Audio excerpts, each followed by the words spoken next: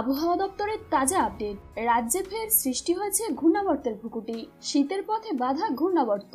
পৌষ সংক্রান্তির আগেই আবহাওয়ার বড় পরিবর্তনের সম্ভাবনা। কেমন থাকবে আজ এবং আগামী কয়েকদিনের আবহাওয়া জানতে ভিডিওটিকে সম্পূর্ণ দেখবেন। আর ভালো লাগলে একটি লাইক ও কমেন্ট করবেন। পরবর্তীতে এমনই গুরুত্বপূর্ণ খবরগুলিকে সবার আগে জানতে আমাদের চ্যানেলটিকে অবশ্যই সাবস্ক্রাইব করবেন।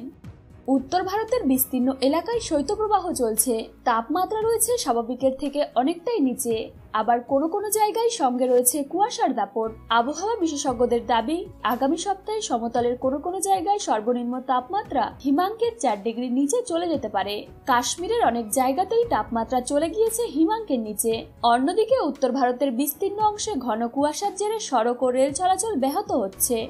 আবহাওয়া দপ্তর জানিয়েছে একটি পশ্চিমী ঝঞ্ঝা অক্ষরেখা হিসাবে অবস্থান করছে। এছাড়া উত্তর রাজস্থানের ওপর একটি ঘূর্ণাবর্ত অবস্থান করছে। মৌসুম ভবনের তরফ থেকে জানানো হয়েছে, জম্মু ও কাশ্মীরে বৃষ্টিপাতের সঙ্গে তুষারপাতের সম্ভাবনা রয়েছে।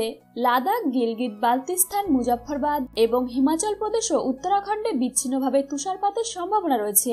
এছাড়া আবহাওয়া দপ্তরের সতর্কবার্তায় বলা হয়েছে, চোদ্দই জানুয়ারি কর্ণাটকের কিছু জায়গায় শৈত্যপ্রবাহের পরিস্থিতি তৈরি হতে পারে। শৈত্যপ্রবাহ থেকে প্রবল শৈত্যপ্রবাহের পরিস্থিতি তৈরি হতে পারে উত্তর রাজস্থানের কোনো কোনো জায়গায়। যায় পনেরো, ষোলো এবং সতেরোই জানুয়ারি শৈত্যপ্রবাহের পরিস্থিতি তৈরি হতে পারে হিমাচল প্রদেশ, উত্তরাখণ্ড, পাঞ্জাব, হরিয়ানা এবং চণ্ডীগড়ে এবং ষোলো ও সতেরোই জানুয়ারি এই পরিস্থিতি তৈরি হতে পারে মধ্যপ্রদেশে। এই সময় কুয়াশা এবং শৈত্যপ্রবাহের পরিস্থিতি তৈরি হতে পারে গাঙ্গেয় সমতলে। তেরো থেকে সতেরোই জানুয়ারির মধ্যে বিহারের অনেক জায়গাতেই ভারী কুয়াশা থাকতে পারে।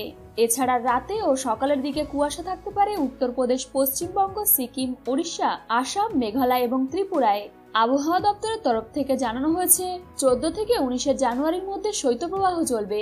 এর মধ্যে ষোলো থেকে আঠারোই জানুয়ারি শৈত্যপ্রবাহ তীব্র হওয়ার সম্ভাবনা রয়েছে।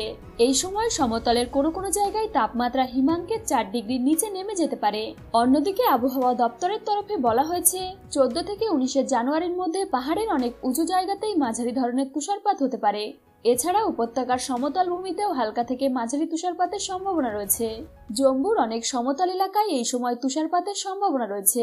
এই মুহূর্তে প্রবল ঠান্ডার কবলে রয়েছে কাশ্মীর।